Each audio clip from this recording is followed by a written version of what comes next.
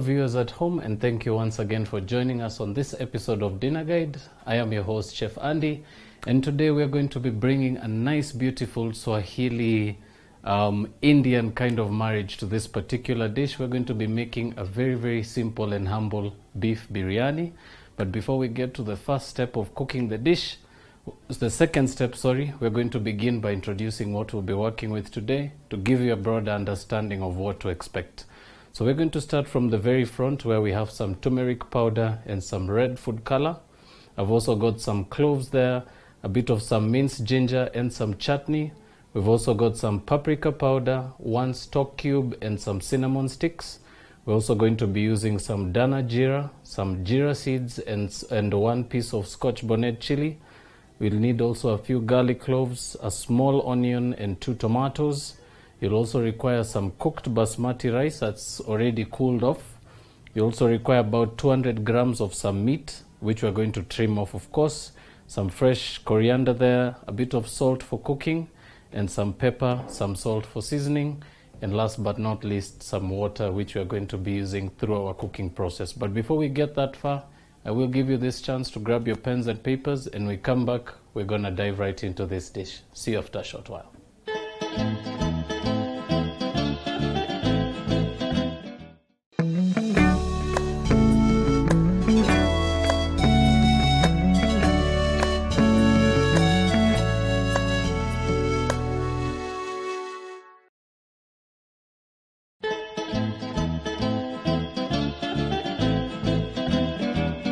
Welcome back, ladies and gentlemen. If you're just tuning in and you missed out on the introduction to the show, we're going to be working on a beef biryani.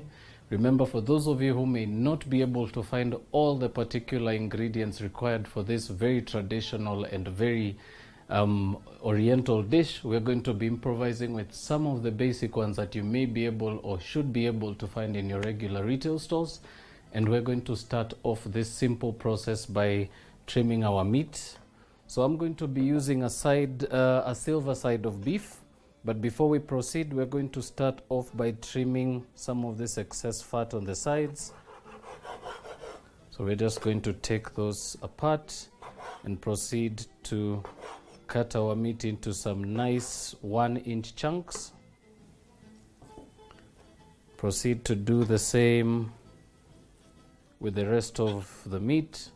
So for this particular dish, uh, ribeye was particularly a very good option for the fact that it does have a nice, beautiful chunkiness to it. It uh, does also have a very, very beautiful uh, rind there of, of, of fat that will actually aid in giving your dish quite a very, very beautiful texture. Right, so proceed to cube your beef as you did for the first piece. And of course, this being said, uh, no particular technique in cutting the meat. We're just going to cut it into some big chunks. Remember, this will be cooking for a bit of time, so always very important to cut your meat in chunks, especially if you're going to be braising it or stewing it. So just to go right through the last and final piece. Of course, discarding any excess fat that you will not require for this dish particularly.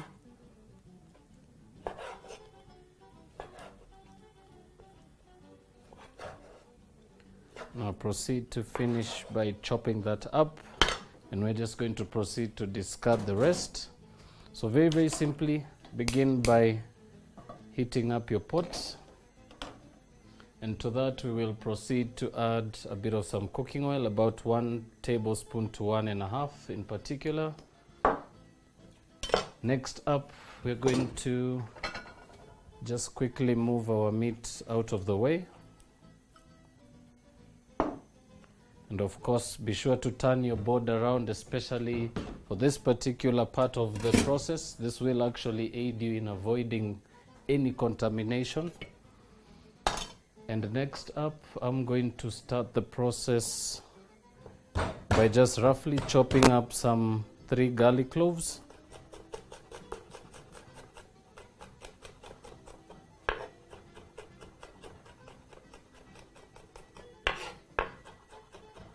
So be sure to chop that to the smallest size possible.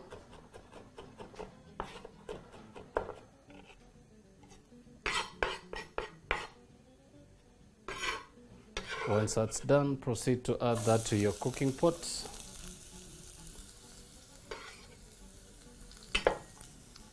Now next up, we're going to proceed to add some of our raw herbs. And I'm going to quickly just pour those into a pestle and mortar on the side here. Remember, we do have some fennel seeds and some uh, cinnamon sticks that we need to break up. We also have some cloves there. Also going to add that to the mixture. And very simply, using your pestle, proceed to pound everything together.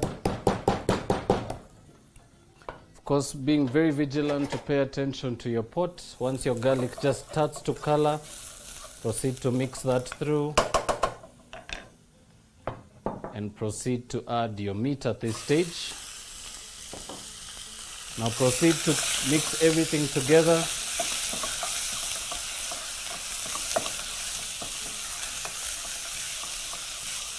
And at this stage, adding a bit of cooking oil.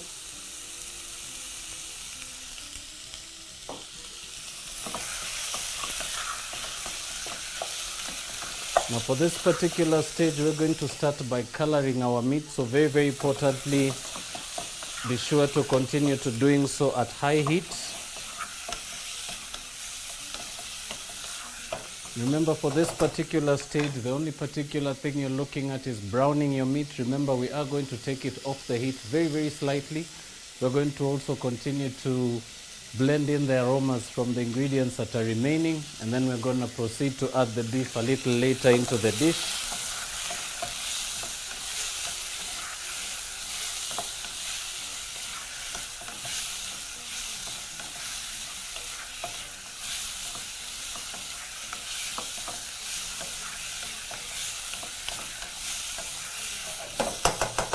Right, while your beef continues to brown in your pot, proceed to finish off your raw spices.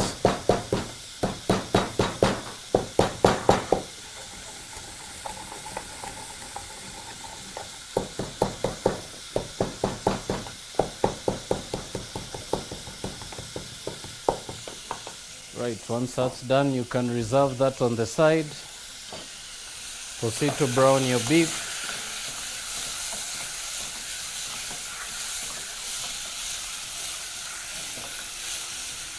Now this should actually cook for anywhere between 4 to 5 minutes, allowing your meat to cook to medium stage.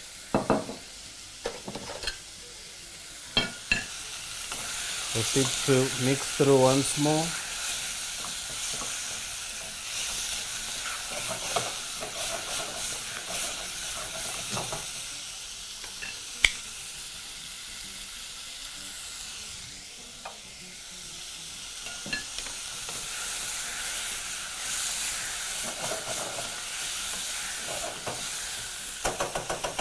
Right, so your meat has now been cooking for about four minutes. We're going to allow just an extra minute of this while, of course, proceeding to mix through.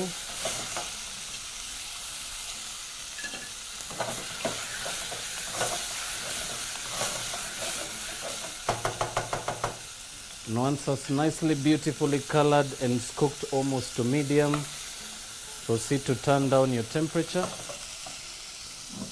and proceed to remove your meat from the heat.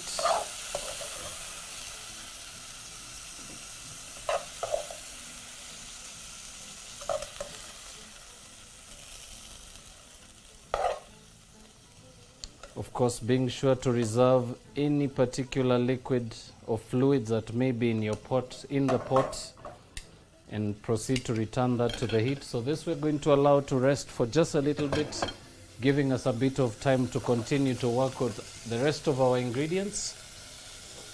So to start that off, about a tablespoon of some minced ginger, a bit of some Dana Jeera powder. Proceed to also add your raw spices. And proceed to give that a mix. Your pan at this stage should be quite a bit dry, so proceed to add in a bit more cooking oil.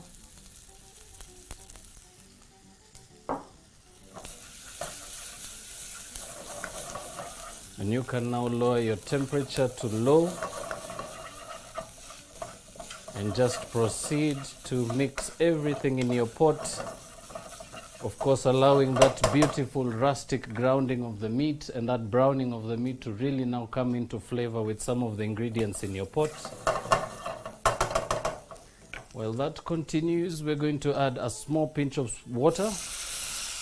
Remember, this particularly will help in breaking down the flavors also helps in reconstituting any flavors that may be on the sides of your pots.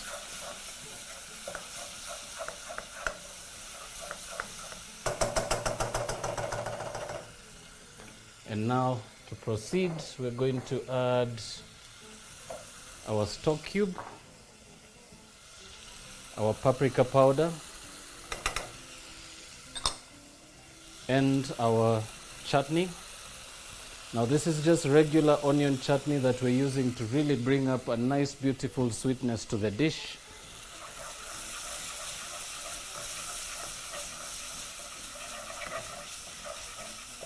Now at this stage you should be able to get a nice beautiful fragrance from the fennel seeds. You should actually be able to get that beautiful jeera aroma in your kitchen at, the, at this point. Now if you can be able to see that from the cameras, it should actually start to constitute into a nice pasty consistency.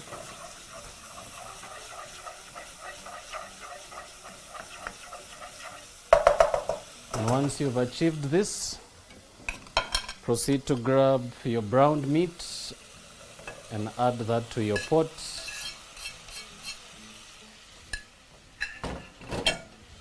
Of course, now bring your heat to medium mixing through thoroughly once, making sure to get that beautiful chutney coating right around the meat. And now we're going to proceed to add our other ingredients, starting with some red onion. So this I'm just going to cut into four quarters. Be sure to take the stems off completely Just using the palm of your hands, proceed to break your onion into your pot. Of course, opening up that onion flower very well.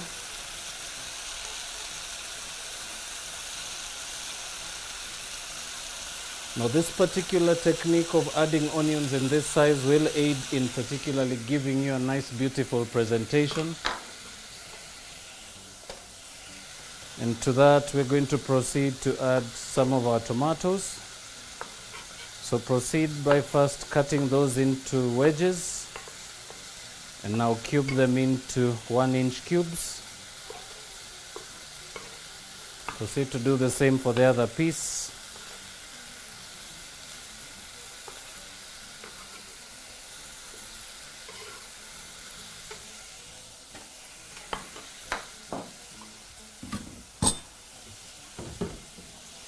Right, now at this stage you should actually have a nice beautiful consistency coming up to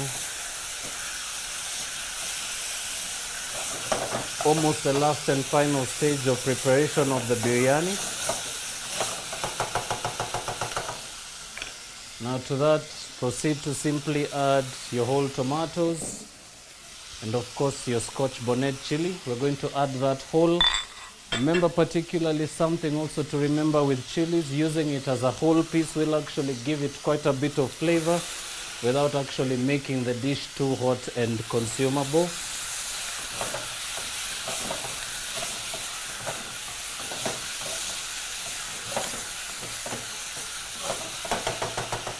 Right, at this stage your mixture will completely dry out, so be sure to add in slightly a little bit of water. Remember, you can also alternate using water for beef stock or chicken stock or vegetable stock.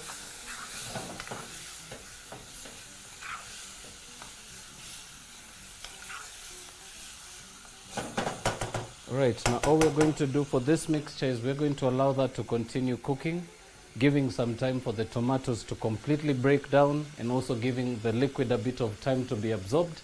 And then we're going to take a very, very sh- short break, but when we do come back, I am going to show you the last and final technique of basically using your food color to color the rice and how to assemble the dish working towards the last and final step, which is the plating.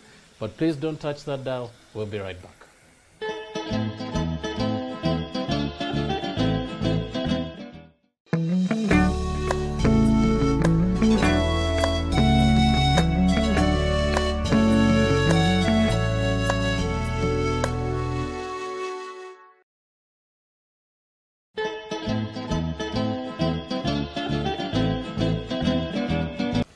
Welcome back, ladies and gentlemen. If you're just tuning into the show, we've been working on a very, very simple dish here, which we're not about at the last and final stage.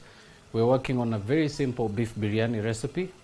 But now we're going to get to the last and final stage where we're going to proceed to layer over our rice. So, this you will proceed to spread out right over your meat mixture in the pot. So I'm using about one cup of rice to this dish. Remember the rice is pre-cooked. So very, very simply, I'm just going to spread that right over the meat. Of course, allowing this to sit at very low heat. We are also going to proceed to combine our colors once more. So very, very simply, begin by adding a bit of some turmeric to your first pot and a bit of the red food color to the second. And now proceed to add a very small amount of water which should aid you in mixing the colors.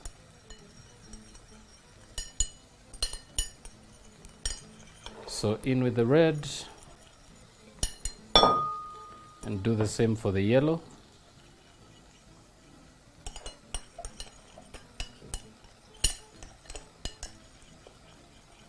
And once completely combined and you can't see any more of the powder. Proceed to pour over the rice on one side and finish by adding the rest. And at this stage you can actually now proceed to turn off your heat completely. Very simply using a spoon proceed to work your way through the mixture. Of course, making sure to get those colors absorbed completely.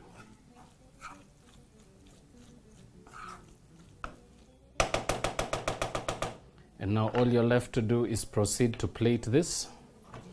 So I'm just going to begin by moving our piece of chili right out of the way. Remember, we were using a scotch bonnet chili. This is a particularly very hot chili. It actually falls under the many, many hot chilies that are offered in the world.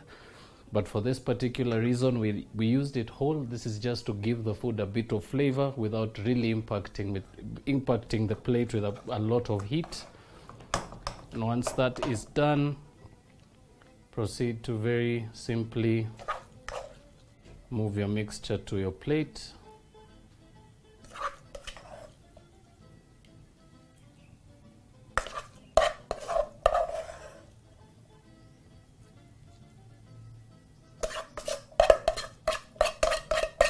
To the last bit. And by this time, your meat is nicely fully cooked, very, very tender. And as I mentioned earlier in the show, for this particular recipe, you can alternatively use uh, beef fillet, you can use sirloin, you can use rump.